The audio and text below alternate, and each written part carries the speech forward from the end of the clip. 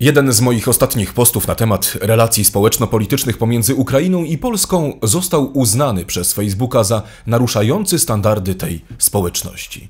Komentarz był wyważony i w sposób merytoryczny ukazywał błędy, które zostały popełnione przez polskie władze. Wszystko, o czym w nim mówiłem, ma bowiem odzwierciedlenie w wydarzeniach, których właśnie dziś jesteśmy świadkami, no i uczestnikami. Nie zmienię jednak narracji i postaram się wykazać na cyfrach, jak wygląda obraz Polski pomiędzy niemieckim młotem a ukraińskim kowadłem.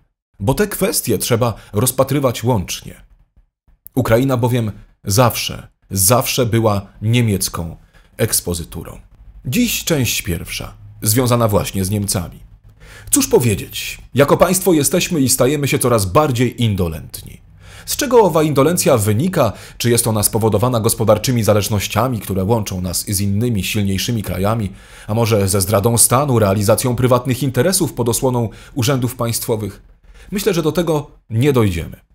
Każdy z Was ma z pewnością zresztą inne zdanie na ten temat. Wiemy natomiast, jaki jest efekt tego działania. Nieustannie słabnąca pozycja naszego kraju na arenie międzynarodowej. Polityka bowiem to brutalna gra interesów. Chociaż są i tacy, którzy naiwnie chcą w niej widzieć partnerską rywalizację. Niestety w tej sferze nie ma zmiłuj, nie ma przyjaźni, nie ma żadnych koleżeńskich relacji, a poklepywanie po plecach nie znaczy zupełnie nic. W polityce zagranicznej obowiązuje tylko jedna, jedyna zasada. Nie ma siły, nie ma też partnerstwa. Jest za to poddaństwo. Zresztą, jak mówił Kisiel, naszym problemem nie jest to, że jesteśmy Państwo wybaczą w dupie, ale to, że zaczynamy się w niej urządzać. O tym wszystkim w dzisiejszym programie na kanale Marek Miśko Czuwaj. Czuwaj w sobotę. O sprawach społecznych i politycznych. Tu Marek Miśko. Witajcie. Czujcie się jak u siebie.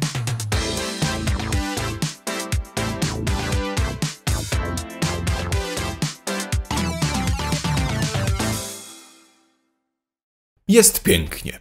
Nasze działania dostrzegają już po drugiej stronie barykady. Po przekroczeniu magicznej liczby 40 tysięcy subskrypcji na YouTubie i 17 tysięcy na Twitterze, organizacja dowodzona przez ściganego listem gończym niejakiego Gawła złożyła na mnie zawiadomienie do prokuratury, o czym dowiedziałem się y, zupełnie przypadkiem. Miło. Dawno w prokuraturze nie byłem. Z kolei instytucja o nazwie Demagog, która szczyci się tym, że ponoć demaskuje nieprawdę w sieci, powiedziała, że kłamie, chociaż uważam, że nie kłamie. Czym podpadłem? W jednym z nagrań, powołując się na powszechnie dostępną wiedzę, artykuł z Washington Post, opracowanie naukowe Uniwersytetu Columbia i cały cykl wywiadów doktora Szewki, jednego z najlepszych polskich ekspertów w dziedzinie Bliskiego Wschodu, islamu i terroryzmu, powiedziałem, że Izrael założył Hamas. Poszlak na ten temat, a nawet dowodów jest sporo. Nagranie zresztą jeszcze o tym przygotuję. Tymczasem niech sława naszego projektu, projektu Marek Miśkoczuwaj, nadal wzrasta, rozwija się, a dzieje się to dzięki Waszemu zaangażowaniu. Wszystkim mecenasom, którzy y, przyczyniają się do powstania naszych produkcji, dzięki którym powstają nasze produkcje, najserdeczniej dziękuję. Jeżeli natomiast ktoś z Państwa ma jeszcze życzenie, aby wesprzeć nasze działania, a to, co tutaj robimy, jest według Was cenne, y, no to informacje, jak się można zaangażować, zamieściłem w opisie tego filmu i w pierwszym komentarzu. To co? Zaczynamy! Polska w moim przekonaniu nie tylko nie prowadzi, ale nie ma swojego planu na politykę zagraniczną. Więc jeżeli nie ma, nie może go prowadzić. Jeżeli natomiast takowy plan y, gdzieś jest, byłbym zobowiązany, aby ktoś w jasny i klarowny sposób wyjaśnił mi tę genialną strategię. Strategia, y, też pamiętajmy, nie jest y, czymś nieprzemyślanym, jakąś każdą nerwową reakcją na to, co dzieje się dookoła. No ale to jest konkretny plan, który powinno się sumiennie realizować bez względu na to, kto jest u władzy. Bo jeżeli PiS wymyślił sobie jakąś strategię y, zagraniczną albo gospodarczą, a zaraz po nim po czterech latach czy po ośmiu latach przychodzi Platforma Obywatelska i całkowicie ją odwraca, to znaczy, że zmarnowaliśmy 8 lat. W Stanach Zjednoczonych na przykład takie myślenie jest niedopuszczalne i o ile polityka wewnętrzna w tym duopolu pomiędzy konserwatystami a republikanami, prawda, a pomiędzy demokratami e, się zmienia i decyzje dotyczące wewnętrznych spraw amerykańskich mogą ulegać tej czy innej e, zmianie, natomiast polityka zagraniczna Stanów Zjednoczonych nie zmienia się w zasadzie wcale. Dlatego są mocarstwem, a my nie. My po prostu pracujemy ciężko nad czymś, aby coś zrealizować, bez względu na to, czy ma to sens. W, tym sensie, że, że zgadzamy się z taką polityką tej czy innej partii. I kiedy dobiegamy już do mety, następuje zmiana, e, powiedzmy sobie, o, dla dobrego wyobrażenia, e, zmiana podczas sztafety i zawodnik, który powinien dalej biec w kierunku mety, wraca. I to dzieje się właśnie w Polsce. Więc czy brak w nas, Polakach, jest potencjału, aby osiągnąć e, kolejne cele? Rozwijać produkcję, gospodarkę, zwiększać eksport, przestać mówić o dopłatach i skomleć o te unijne środki, które zresztą na przykładzie KPO są zwykłą pożyczką i to wcale nie na najlepszych warunkach. Czy nie moglibyśmy na przykład ograniczyć pośredników w handlu? Przestać żyć tu i teraz i zacząć oszczędzać i poważnie się zbroić, aby być gotowym na najgorsze. Oczywiście, że nie jest tak, że jesteśmy jakimiś niedorajdami. To, czego nie mamy natomiast, to z pewnością jest to zdolność do długofalowego myślenia i tworzenia. Strategia bowiem powinna opierać się na stałym utrzymywaniu przewagi, prowadzeniu działań w taki sposób, aby zwiększać swoją niezależność w każdej możliwej dziedzinie. No ale o czym my mówimy, gdy polskie władze nie są nawet w stanie w sposób stanowczy wyegzekwować naszych praw w polityce międzynarodowej? I nie mówię tutaj już o jakichś wielkich brukselskich układankach, ale chociażby o tym, co robi z nami Kijów, o tym, jak wypowiada się na y, temat polskiej polityki i prowadzonej polskiej polityki władza w Kijowie. Polscy przedsiębiorcy są wyniszczani w rywalizacji, którą można śmiało nazwać niesprawiedliwą, a która nastąpiła po decyzjach unijnych urzędników. E, wyniszczają nas ukraińscy oligarchowie. I nikt z tym w Polsce nic nie robi. Mydlą nam oczy. Kolejni politycy wyjeżdżają do Kijowa i robią sobie zdjęcia z upadającym prezydentem upadającego niestety właśnie kraju. O tym, jak jesteśmy oszukiwani na uwolnieniu kontyngentów na ukraińskie produkty przez Unię Europejską, o tym, do kogo należą ogromne przedsiębiorstwa na Ukrainie i czy rzeczywiście pomagamy Ukraińcom. Dlaczego jej wejście do Unii Europejskiej może być bardzo negatywne dla polskiej gospodarki, opowiem przy najbliższej okazji. Jednak dziś nie o tym, co za Bugiem, lecz za Odrą, bo stamtąd przychodzą polecenia i rozkazy. Czy jesteśmy niemiecką kolonią? Chciałbym, abyście sami wyciągnęli wnioski. Za dużo w dyskusjach politycznych i społecznych w naszym kraju jest jazgotu. Już nie mówię partyjniactwa, ale takiego zwykłego sekciarskiego myślenia, że nawet ktoś, kto jest zdroworozsądkowy i nie ma wyrobionego zdania na jakiś temat, usłyszy sekciarza, który nawet w najlepszej wierze mówi o tym, że Niemcy rządzą światem, no to natychmiast spala tych ludzi i nie pozyskuje dla naszej sprawy. Więc chciałbym, abyście sami wyciągnęli wnioski na podstawie tych danych, które dla Was znalazłem, przygotowałem i zaraz zaprezentuję. Więc jeszcze raz. Czy Polska jest niemiecką kolonią? Dyrektor zarządzająca Międzynarodowym Funduszem Walutowym Bułgarka Kristina Georgiewa powiedziała, że najgorsze w gospodarce jest dopiero przed nami. Zmienność sytuacji gospodarczej podpowiada, że słowa te nie są bezpodstawne. Wnikliwa obserwacja działań podejmowanych przez największych graczy wyraźnie przecież wskazuje, w którym kierunku idą zmiany, no i jak zaczynają się układać wektory polityki prowadzonej przez takie potęgi jak Stany Zjednoczone, Francja czy Niemcy, które ostatnio zresztą przeprosiły się z Chinami. Gdy cały świat idzie do przodu, my natomiast jako Polacy tkwimy w jakimś politycznym zaścianku. Jesteśmy gotowi pozabijać się o rzeczy nieistotne, a to podadzą nam danego dnia dziennikarze taką informację, a to taką. Zresztą podadzą. Rzucają nam jak jakąś sztukę mięsa, patrząc jak się zagryzamy. Partie, partyjniactwo. Ten powiedział to, a tamta nic nie powiedziała, bo nie umiała. Bo KRS, bo Budka, bo Tusk, bo zapomoga z Unii. Koła gospodyń wiejskich, spotkania z działaczami rolnymi, które nic nie dają. Przerzucanie się odpowiedzialnością, jakieś kabarety na sejmowych korytarzach. Widzieliście tę artystkę? O matko, nie no, znowu ten numer, podejrzenie skamu. Okej, nie odbiorę, bo mnie nie da spokoju i powiem, żeby więcej do mnie nie dzwonili. Halo, Klaudia Chwila? A, premier Mateusz Morawiecki. Nie wierzę. Nie, nie, no oczywiście ja się domyślam, że ja jestem ostatnia na tej liście. Klaudia, ale to ty dzwonisz pani poseł powinna się zastanowić, czy nie ma problemów psychicznych. Niestety nasz czas i potencjał wypełniają wojny i wojenki, przez co nie mamy chwili spokoju na analizę tego, co dzieje się ponad naszymi głowami. A co się dzieje? Pamiętacie powojenny szał na słuszne odcinanie się od rosyjskich dostaw? Wszyscy jesteśmy solidarni, tak nam mówili.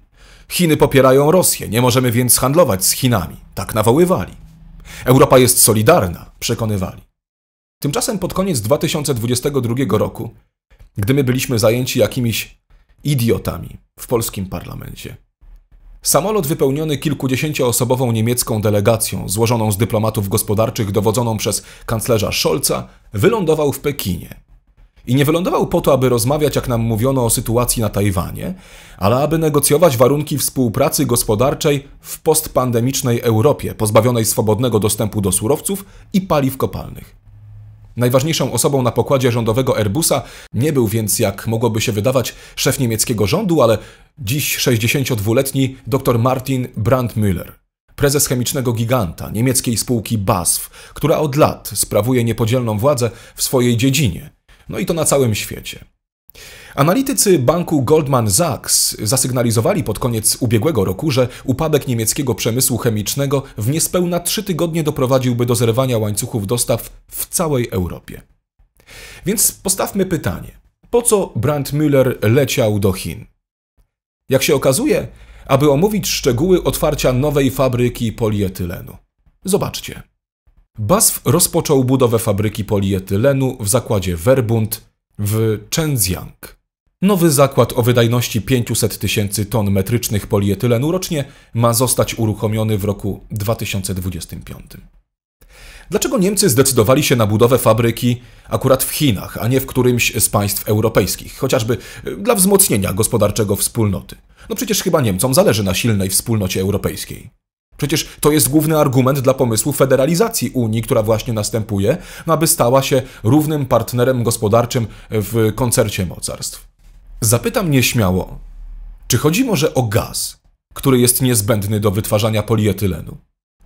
Polietylen jest jednym z najczęściej stosowanych tworzyw sztucznych na świecie, a jego produkcja opiera się na polimeryzacji etylenu C2H4. Etylen jest gazem, który może być otrzymywany z różnych źródeł, ale najczęściej z ropy naftowej i właśnie gazu ziemnego. A kto dostarcza gaz do Chin i przestał akurat do Europy? Chiny są jednym z największych importerów gazu ziemnego na świecie, a ich głównym dostawcą jest Rosja.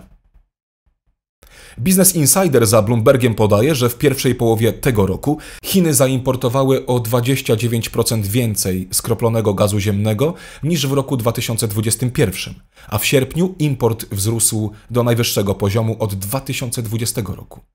Mówią więc nam o szczytnych ideach, o zasadach. Nawołują w chórze mędrców do nakładania i utrzymywania embarga na surowce z Rosji, no i pewnie słusznie. Ale sami tymczasem będą korzystać z rosyjskiego gazu, który zakupią dla nich kto? Chińczycy. Niemiecki wektor polityki gospodarczej. Niemcy potrafią realizować strategiczne dla siebie interesy i zaostrzać swój gospodarczy kurs bez jakichś tam specjalnych sentymentów. Elastyczność niemieckiej polityki w tym zakresie można zaobserwować na przykładzie ostatnich 3-4 lat. Chociażby kwestia 5G, Mercosuru i motoryzacji. Przecież jeszcze w roku 2021 chiński ambasador w Berlinie, słysząc o możliwych próbach wykluczania chińskich firm z udziału w przetargach na budowę sieci 5G, dyplomatycznie przypomniał, że niemieckie koncerny każdego roku sprzedają Chińczykom miliony samochodów o wartości blisko 19 miliardów dolarów. No co zrobił w ten sposób? Zasugerował, że y, Pekin może natychmiastowo podjąć reakcję na każdą próbę odcięcia ich od rynków w Europie. Ale Niemcy podjęły to wyzwanie zaczęły poszukiwać zbytu dla swojej produkcji w Ameryce Południowej, a dokładnie w krajach wspólnoty gospodarczej Mercosur, z hiszpańskiego Mercado Común del Sur, czyli wspólny rynek południa. W zamian za możliwość eksportowania tam swoich pojazdów i utrzymania produkcji na wzwyżkowym poziomie, Niemcy obiecały uwolnić rynek wspólnoty europejskiej dla importu produktów rolno-spożywczych z Kolumbii, Brazylii i Argentyny. Głównie chodzi o wołowinę, ale też soję i wiele, wiele innych. Mało powiedzieć, że większość z tych produktów nie spełnia unijnych standardów, aby wejść na nasz wspólnotowy rynek. Na przykład soja, która jest w pełni modyfikowana genetycznie. I gdzie są teraz obrońcy, głównie niemieccy, y, związani z ekologicznymi organizacjami? Nigdzie, bo działają na rzecz rządu niemieckiego i skoro ten powiedział, że tak ma być, to znaczy, że tak ma być. O uwolnieniu rynku unijnego dla produktów rolno-spożywczych z oceanu zrobiło się więc na chwilę głośno i to stosunkowo niedawno, bo kilka miesięcy temu, gdy właśnie Niemcy negocjowały z Chińczykami. Von der Leyen sygnalizowała wtedy, że trwająca już od kilkudziesięciu lat próba rozmów w kwestii um, udostępnienia rynku dla Ameryki Południowej, rynku europejskiego, będzie miała swój szczęśliwy finał. I nagle cisza. Niemcy dogadały się w kwietniu tego roku z Chińczykami na temat otwarcia fabryki, o której wspomniałem, i pani von der Leyen zapomniała o umowie z krajami Mercosur. Rosyjska agresja na Ukrainę i zatrzymanie projektu Nord Stream 2 wymusiła na Berlinie zmianę polityki i skanalizowała rwący potok niemieckiej gospodarki w kierunku Pekinu. Wydaje się więc, że misja dyplomatyczna kanclerza Scholza zakończyła się powodzeniem, no i Niemcy zawiesiły wspólne projekty energetyczne z Rosją na korzyść Chin. Może zresztą o tym świadczyć wypowiedź ministra sprawiedliwości RFN, Marka e, Buchmana, który na jednej z konferencji prasowych poinformował, że decyzja o budowie gazociągu Nord Stream 2 po tym jak Rosja anektowała ukraiński Krym była błędna. Dodał jednocześnie, że cały gazowy projekt, tak dopieszczany przez ekskanclerza Gerharda Schrödera, wręcz przyczynił się do decyzji Kremla o inwazji na Ukrainę. Bo nie muszę wam chyba przypominać, że Gerhard Schröder, były kanclerz e, Niemiec, zasiada e, jako jeden z bardzo ważnych ludzi w Radzie Nadzorczej spółki Nord Stream 2, prawda? Więc jak widzicie, w polityce, a szczególnie gospodarce i, i, biznesie na poziomie międzynarodowym, rywalizacji międzypaństwowej nie ma żadnych sympatii. Nie powinno być też żadnych antypatii, ale zwykłe bizantyjskie podejście do spraw gospodarczych, tak jak robią to Niemcy. Konkretne działania, gdy nasi politycy w tym czasie nie potrafią zatroszczyć się o podstawowe interesy naszych przedsiębiorców. Transportowcy, rolnicy, pewnie o tym słyszeliście. I co robią? Nic bo nie mogą? Nie, bo są słabi. Co zrobił w kwestii zalewania polskiego rynku ukraińskim zbożem minister rolnictwa? Otwierał kolejne koła y, gospodyń wiejskich po wsiach, bo tam były głosy przed wyborami. Y, premierem zdaje się też jest nadal Mateusz Morawiecki, więc dlaczego go nie ma na granicy, gdzie protestują polscy transportowcy? Bo skończyły się wybory? A czemu nie ma tam Donalda Tuska, który szykuje się na prezesa Rady Ministrów? Bo co, bo wie, że decyzje unijne o zwolnieniu transportu z Ukrainy yy, nie zostaną zmienione? Że nie da się tego wykonać i szkoda z jakimiś tam frajerami marznąć na mrozie? Zobaczcie, co o tym proteście piszą sympatycy Platformy Obywatelskiej. Jaka jest nagonka na polskich przedsiębiorców? To oni są wszystkiemu winni. To Polacy Ukraińcom oddali swoje serce, oddawali swoje domy, bardzo często być może ci ludzie właśnie to robili, którzy teraz protestują. A kiedy upominają się o swoje podstawowe prawa, nazywani są tak jak na tych screenach? Życzy się im śmierci? Polska to jest, zdaje się, jedyny kraj, w którym mieszka tak wielu ludzi nienawidzących swojego kraju. Bo nie mówię, że to jest naród. Do tych ludzi w ogóle nie jest mi blisko. A najlepiej, jakbym ich nigdy nie poznał. Więc gdzie jest w tym wszystkim Polska? My do Niemiec eksportujemy w zasadzie wszystko. Na pierwszym miejscu są to urządzenia mechaniczne i elektryczne. Oczywiście nie z polskich fabryk. Są to urządzenia wytwarzane najczęściej w fabrykach zagranicznych, głównie niemieckich, fabrykach na terenie naszego kraju. Na drugim miejscu są natomiast produkty rolno-spożywcze, które stanowią 22% naszego handlu z tym krajem. Łącznie do Unii Europejskiej Polska eksportuje ponad 70% ogółu swojej produkcji rolnej, co w dzisiejszych niepewnych czasach zaczyna budzić obawy rodzimych producentów i eksporterów. Nie od dziś wiadomo, że lekkie przeziębienie w Berlinie może zakończyć się zapaleniem płuc w Warszawie, a wszystko przez to, że jednokierunkowe i silne powiązanie polskiej i niemieckiej gospodarki nieustannie się zwiększa. Polska gospodarka i eksport w dużej mierze są uzależnione od chłonności rynku niemieckiego, ale nie tylko ym, dotyczącego tego, co Niemcy potrafią skonsumować i zjeść na bieżąco. Sporo naszych towarów Niemcy po prostu reeksportują. Zresztą nie tylko Niemcy, robią tak samo Holendrzy. Więc nasz eksport za Odrę w 2022 roku był na rekordowo wysokim poziomie pod względem obrotu i wyniósł 167,7 miliarda euro. Polska jest piątym najważniejszym partnerem handlowym dla Niemiec, Niemcy natomiast dla nas pierwszym. Eksport Polski za zachodnią granicę wzrósł w 2022 roku o około 12% i informowała o tym nie tak dawno Polsko-Niemiecka Izba Przemysłowo-Handlowa. Rok 2022 zakończył się zresztą 80% udziałem państw Unii Europejskiej w bilansie eksportu samych produktów rolno-spożywczych z Polski. Okazuje się więc, że w naszym koszyku eksportowym, poza państwami należącymi do wspólnoty, znajduje się w zasadzie niewiele więcej, a może nawet nic, poza tym, co stanowią kraje unijne. Więc kolejny ważny punkt brak dywersyfikacji rynków. To wszystko stwarza ogromne niebezpieczeństwo i powoduje, że prowadzimy handel pod ogromną presją, również presją polityczną. Bo co, mamy nie uwierzyć w taką sytuację? Mieliśmy y, tego najlepszy przykład w kwestii KPO. Powiedzmy sobie, polska gospodarka jest uzależniona w pełni od rynku unijnego, w tym od rynku niemieckiego. Jeżeli polskie władze będą podejmowały jakieś niekoniecznie właściwe z punktu widzenia Niemiec decyzje, to co mogą zrobić Niemcy? Zakręcić kurek, zablokować eksport, osłabić polską gospodarkę. Oczywiście nie będzie też tak, że nie wpłynie to na y, gospodarkę niemiecką, jak rzekłem, bo Polska jest jednak produkcyjną kolonią niemiecką. Y, jest potrzebna jako wyrobnik ale nie ma to wiele wspólnego z jakąkolwiek niezależnością. Chyba musimy wszyscy tutaj to przyznać. No ale grunt, że lecą pieniądze, prawda? A wtedy można przymknąć oko. Nie możemy o sobie stanowić, być może niedługo nie będziemy mieli własnej waluty, ale grunt, że są pieniądze, prawda? A nie, że możemy się sami rządzić. Rozsądek nakazywałby jednak najszybszą weryfikację naszego podejścia do handlu zagranicznego. Tak uważam. Jednak, żeby handlować, potrzebne są nie tylko dobry produkt, cena, relacje biznesowe, warunki polityczne, ale przede wszystkim infrastruktura. Czy takim polskim oknem na świat mógłby być na przykład centralny port komunikacyjny, czyli potężne lotnisko cargo, sieć połączeń kolejowych i drogowych? Oczywiście, że tak. Leżymy przecież pośrodku Europy, na płaskim terenie, na osi wschód-zachód, północ-południe. Mamy dostęp do morza. To prawda, jest to teren, na którym może rozpędzić się pociąg z towarami, ale i sprzęt wojskowy. Ale dlaczego by nie zaryzykować? Z jednej strony mówimy o naszym położeniu geopolitycznym jako o przekleństwie, bramie na wschód, ale z drugiej strony jest to piękny, naturalny węzeł komunikacyjny, który mógłby być stosowany do tego, aby Polacy zarabiali pieniądze na obrocie towarami pomiędzy wschodem a zachodem. Więc dlaczego CPK nie powstaje?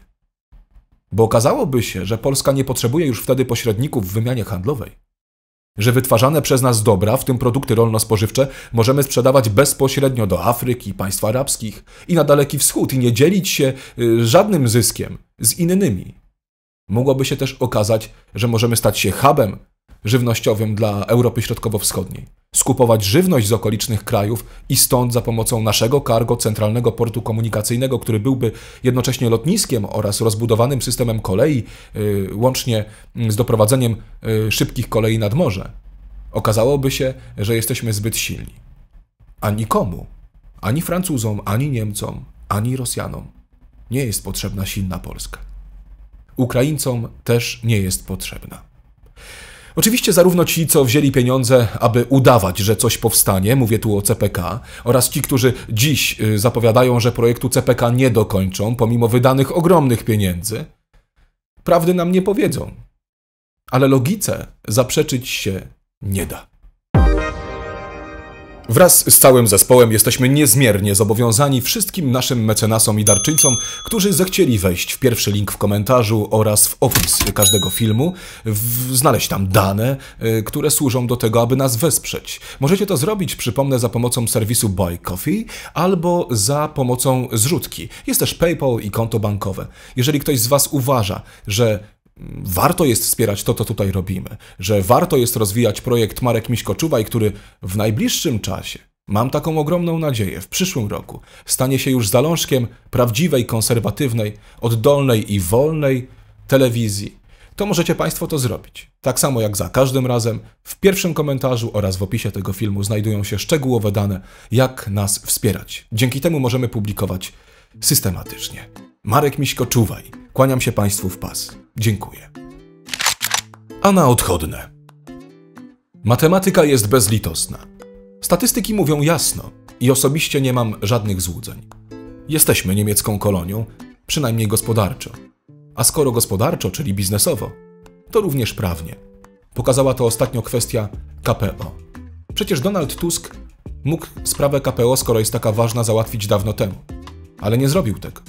Nie pojechał do swoich kolegów dlatego że rządził PiS. I wszystkie punkty polityczne, poszłyby właśnie na konto Prawa i Sprawiedliwości, a nie samego Donalda Tuska. Więc czekał z załatwieniem tych pieniędzy, a według niego one mają posłużyć rozwojowi Polski, e, biorąc Polskę jako zakładnika. Tak to oceniam. Więc jeżeli jesteśmy od kogoś uzależnieni finansowo, to jesteśmy uzależnieni pod każdym względem. Więc myślę, że jesteśmy niemiecką kolonią. Ale celowo nie mówiłem wam tego na samym początku, ponieważ byłaby to pewna autosugestia, której nie chciałem. Podałem dane, a na końcu wyraziłem własną opinię. Zresztą pod tą nową władzą nikt już nie będzie się chyba specjalnie z tym krył. Posłowie, którzy zostali wybrani w Polsce i głosujący ostatnio w Parlamencie Europejskim za federalizacją wspólnoty, nazywają obywateli, którzy kontestują, tak jak ja, kontestują tę całą sytuację ciemniakami. A kurs ten tylko się jeszcze zaostrzy. Powinniśmy się więc na to wszystko szykować. Marek Miśko, czuwaj, kłaniam się Państwu. Do zobaczenia jutro po godzinie 19.